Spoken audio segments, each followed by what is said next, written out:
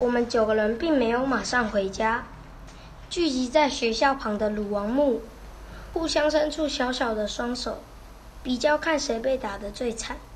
当中就有人很不爽，提议我们要计划一下，哪一天等老师骑脚踏车回家时，我们就在半路上拦他，用布袋套住他，狠狠地揍他一顿，报这一箭之仇。可是谁要去准备大布袋呢？大家静悄悄的，没有人回应，没有一个人愿意去准备布袋。此事过后就不了了之了。中华民国六十五年九月十二日，星期三，晴天。